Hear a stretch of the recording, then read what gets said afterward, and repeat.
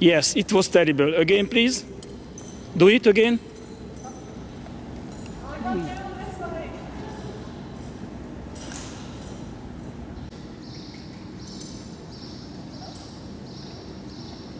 Yes, good. Smile and sit back.